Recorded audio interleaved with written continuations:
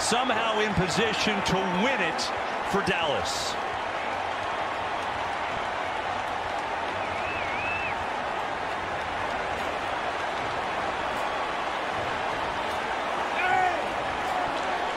Atlanta was up 15 with 4.45 to play. Louis Philippe Ladouceur, the snapper. Chris Jones is the holder.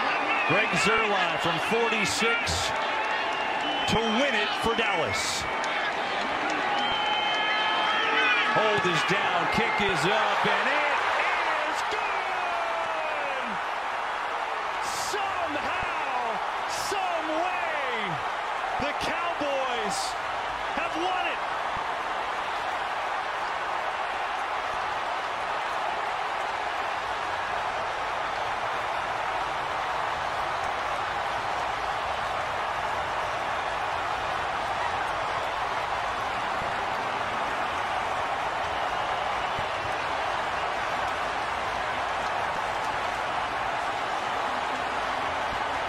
This is going to be